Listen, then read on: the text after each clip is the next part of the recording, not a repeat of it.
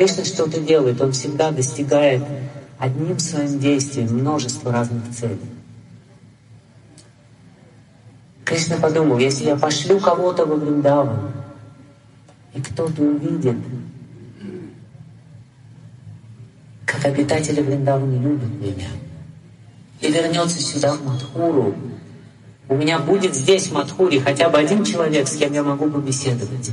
Потому что сейчас никто меня здесь не понимает. Я вынужден сидеть, как ни в чем не бывало. Я вынужден улыбаться. Я вынужден делать вид, что у меня все хорошо. Я вынужден скрывать свои слезы. Только по ночам я могу плакать.